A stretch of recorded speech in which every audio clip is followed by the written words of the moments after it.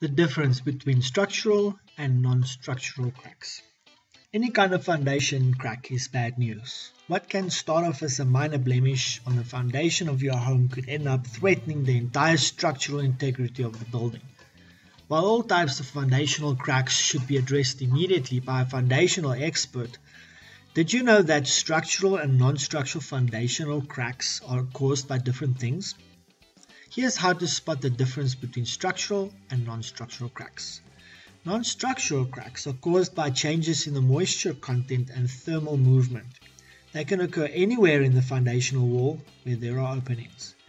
Structural cracks are due to poor construction sites, swollen soil, poor soil bearing and overloading. These cracks are usually accompanied by other signs of foundational issues such as sticking doors and windows, slanted doors, sloping floors and cracks in porches.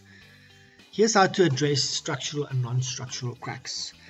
Non-structural cracks should be monitored and taken care of so they don't get worse. They are usually repaired with an injection of sealant resin. This resin protects your foundation from future leaks and prevents the problem from worsening. Paint Doctor uses a number of professional and efficient solutions to get your home back in perfect condition. Feel free to contact us today.